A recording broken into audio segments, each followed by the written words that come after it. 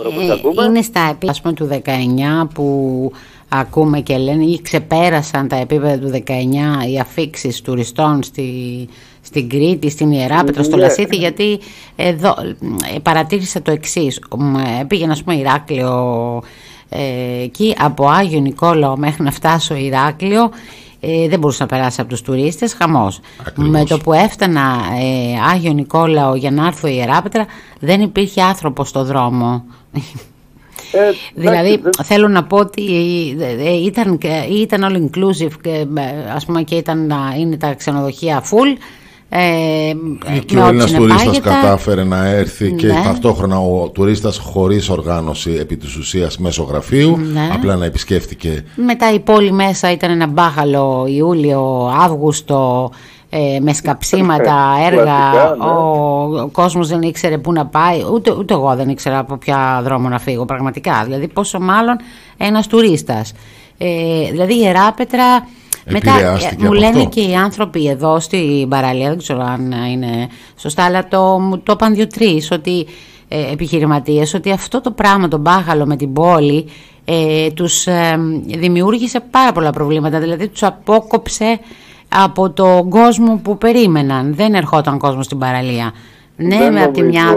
Ναι, για πες Δεν νομίζω ότι αυτός είναι ο, ο κύριος παράγοντας που δεν, δεν έρχονταν ναι. κόσμος στην παραλία. Γιατί το, το μπάχαλο, όπως λέμε, κράτησε μία εβδομάδα. Δηλαδή δεν νομίζω ότι μία εβδομάδα ήταν τόσο καταλητική πια.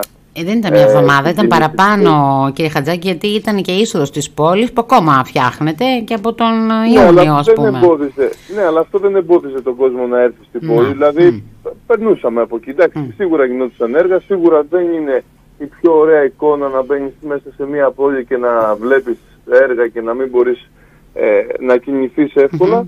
Αλλά ωστόσο δεν ήταν αυτός ο κύριος λόγος. Οπότε ποιος ήταν ο κύριος λόγος; Κατά τη δική μου άποψη την προσωπική ήταν το θέμα με, το, με τη χρυσή.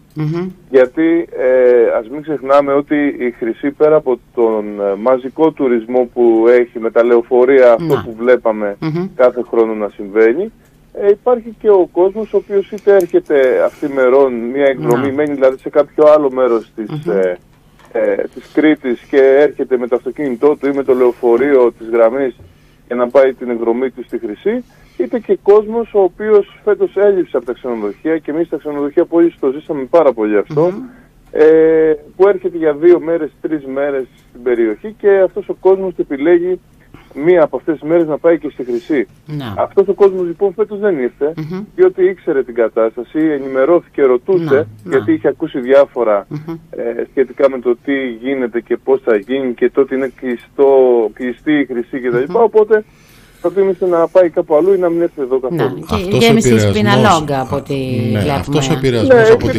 Κοιτάξτε, υπάρχουν πάρα πολλές εναλλακτικές. Έτσι. Δηλαδή, σκεφτείτε και στο κουφονίσι, αν θυμάμαι καλά, φέτος είχε δύο καραβάκια αντί για ένα που έχεις κάθε χρόνο. Δηλαδή, ξέρετε, ή ας πούμε, μαθαίνω για το μπάλο Φερρυπίν στα Χανιά, ε, ότι φέτος ε, δεν ξέραν τι να, πού να το πάνε στον κόσμο. Mm-hmm. Ε, δηλαδή αυτή η όλη ιστορία, όλο, όλη αυτή η αρνητική προβολή δημιούργησε όντως ένα αρνητικό σκηνικό για, τη, για την πόλη μας και την περιοχή μας και σίγουρα επηρέασε και την δραστηριότητα των καταστημάτων των επιστηστικών και των εμπορικών. Να. Αυτό, αυτό, αυτό το, το αρνητικό δεδομένο το οποίο προέκυψε από αυτή την κατάσταση, κατα, ε, σε τι ποσοστό περίπου επηρέασε την ε, παρουσία των τουριστών είτε στα ξενοδοχεία της περιοχής και τα οικονομικά και, ναι, και τα οικονομικά δηλαδή μεγέθη αν έχουμε κάποια εικόνα είδα κάποια στιγμή ότι ο Δήμαρχος είχε βάλει είχε αναφερθεί σε νούμερο 100.000 κόσμος ας πούμε δεν ήρθε στην Ιεράπετρα δεν ξέρω αν ισχύει αυτό το νούμερο Κοιτάξτε και εγώ αυτό δεν, δεν μπορώ να σας το πω με, με σιγουριά γιατί τα στατιστικά επειδή δεν είναι μόνο τα ξενοδοχεία, αλλά υπάρχουν και καταλήμματα Airbnb, ε, τα οποία επιλέγουν συχνά οι άνθρωποι που, οι, οι επισκέπτες της mm-hmm. περιοχής μας. Ε, δεν μπορώ να σας το πω με ασφάλεια, αλλά σίγουρα ε, υπήρξε ένας μεγάλος αριθμός ε, ανθρώπων. Αν πούμε, ε, επί παραδείγματι, αν πούμε ότι κάθε χρόνο έρχονται στο νησί 100.000 κόσμου, ε, η, ε, θεωρώ ότι ένα 30% ένα 25 με 30% είναι αυτό που λέμε οι μεμονωμένοι. όχι αυτοί που ερχονται ε, με οργανωμένα γκρουπ και ε, πηγαίνουν στο νησί και μετά επιστρέφουν πάλι στον τόπο και στο ξενοδοχείο Αυτό λοιπόν το 30% δυστυχώς έλειψε από την πόλη μας. Και αν όχι όλο, το μεγαλύτερο ποσοστό του. Αυτοί είναι οι άνθρωποι οι οποίοι κυκλοφορούν, που καταναλώνουν, που θα πάνε στην εστιατόριο να φάνε, θα κάτσουν να πιούν τον καφέ τους, ε, θα, θα κινήσουν τα μαγαζιά της πόλης, έτσι, τα εμπορικά. Δυστυχώς αυτό έλειψε. Ε, ε, βέβαια τα ξενοδοχεία, ε, ε, εμείς τουλάχιστον αναπληρώσαμε σε ένα μεγάλο βαθμό την έλλειψη αυτού του, του περαστικού, να το πούμε έτσι, με συνεργασίες που είχαμε με tour operator. Ε, οπότε δεν μπορώ να πω ότι είχαμε ουσιαστική έτσι, μείωση σε, σε αυτό το, στο, στον τουρισμό. Ωστόσο όμως καταλήμματα μικρότερα τα οποία δεν βασίζονται σε συνεργασίες με ταξιδιωτικά γραφεία όπως και τα καταλήμματα τύπου Airbnb δυστυχώς ε, το ένιωσαν στο πετσί τους αυτό.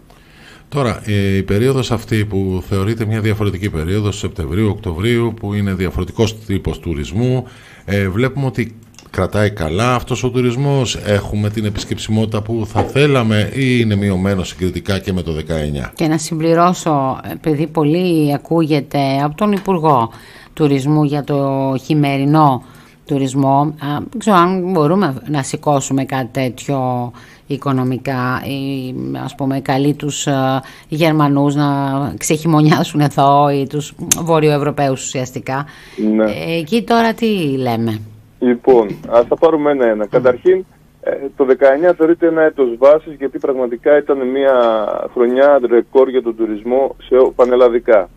Ε, φέτος λοιπόν αυτό που παρατηρούμε ότι όντως κάποιες περιοχές, κυρίως του Νοτιού Αιγαίου και των νησιών των Κυκλάδων, ε, έχουν μια αύξηση η οποία σε πολλές τους περιπτώσεις υπερβαίνει το 19.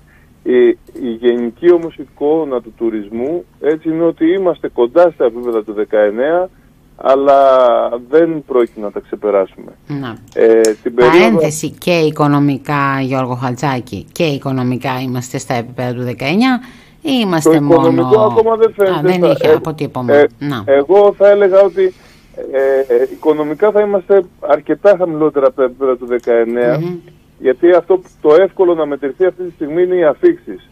Οι αφήξεις όμως έχουν ένα, ε, μία μικρή λεπτομέρεια έτσι που τη γνωρίζουμε, τη βλέπουμε εμείς, αλλά ο έξω κόσμος δεν τη βλέπει.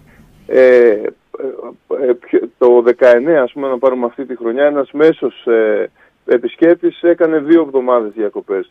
Ε, φέτος, δυστυχώς, λόγω και της κρίσης που ισχύει στο όλη την Ευρώπη, της ενεργειακής και της αύξησης του κόστους, η μέση διαμονή έχει πάει στη μία εβδομάδα, αλλά ωστόσο ε, έχουμε, ε, έχουμε περισσότερους επισκέπτες. Δηλαδή, από εκεί που έρχονταν ένας και καθόταν δύο εβδομάδες, τώρα έρχονται δύο που κάθεται ο καθένας μία εβδομάδα.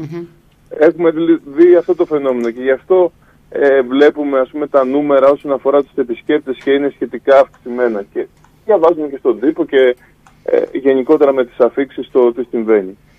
Ε, τώρα, για την περίοδο αυτή που διανύουμε, όντως είναι ένας κανονικός Σεπτέμβρης με ε, σχετικά υψηλές πληρότητες γύρω στο 90%.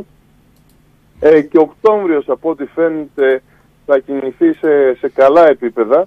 Ε, ωστόσο δεν βλέπουμε ούτε το θέμα της επιμήκυνσης που ναι. πολλοί το συζητούσαν ότι θα φτάσουμε και μέχρι τέλη Νοέμβρη. Δεν ξέρω βέβαια αν με μονομένα κάποια ξενοδοχεία ενδεχομένως και με βάση συμφωνίες που έχουν κάνει με tour operator αν θα μπορέσουν να ε, δουλέψουν και μέχρι τα τέλη Νοέμβρη. Mm-hmm. Πάντως η γενική τάση είναι ότι πάλι προς το τέλος του Οκτώβρη το, το 80 με 90% των ξενοδοχείων θα, θα κλείσει, θα σταματήσει ναι. τη λειτουργία του των εποχικών ξενοδοχείων. Ναι, μα και δεν υπάρχει υποδομή νομίζω για να έχουμε χειμερινό τουρισμό, έτσι δεν είναι. Κοιτάξτε, σε θέμα το υποδομή τώρα δεν έχουμε να προσφέρουμε κάτι οργανωμένο στον επισκέπτη που θα έρθει το χειμώνα.